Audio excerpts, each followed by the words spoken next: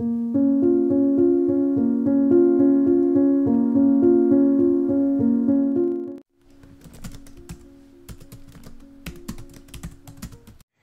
بچه ها امروز من یه روز خیلی پر انرژی رو شروع کردم. امیدوارم که تا آخرش هم اینجوری بمونه چون طبق معمول من کار تو ذوقم توی این مسائل. این نقاشی من باید تمومش کنم.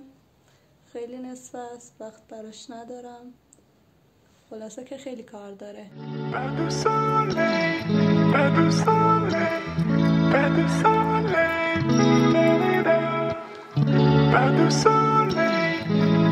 و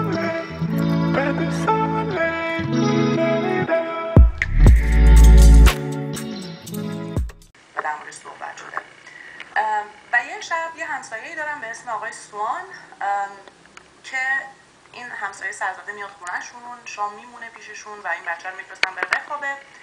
و و چیزی که خیلی جالبه در مورد کل این کتاب اینه که در مورد یه حسایی صحبت می‌کنه که همه ما تجربه کردیم. کتاب هیچ کدوم شبیه ما نیستن. توی دنیایی توی زمانی توی مکانی زندگی می‌کنن که هیچ ربطی به ماها نداره ولی همه ما می‌تونیم حساشون رو درک کنیم پست آشنا بشیم. در یک روز زمستانی در بازگشتم به خانه مادرم که می‌دید سردم است پیشنهاد کرد تا برخلاف عادتم برایم کمی چای بگذارد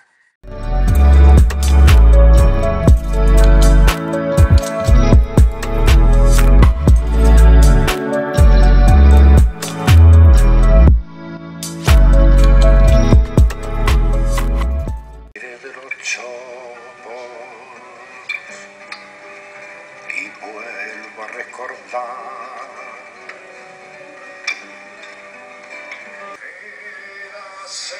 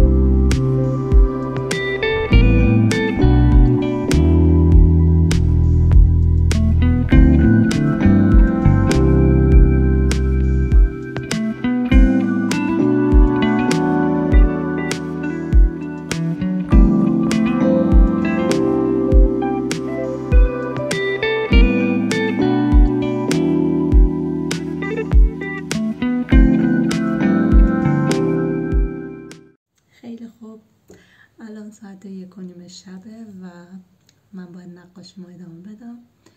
اینم بند و بستاتشه قهوه هم برای خودم درست کردم. سری برنامه ریزی بکنم بنویسم. بعد یه ذره کتاب بخونم و همین یه ذره استراحت بکنم. دوباره برم سراغ کار چون دیگه وقتی برام نمونده.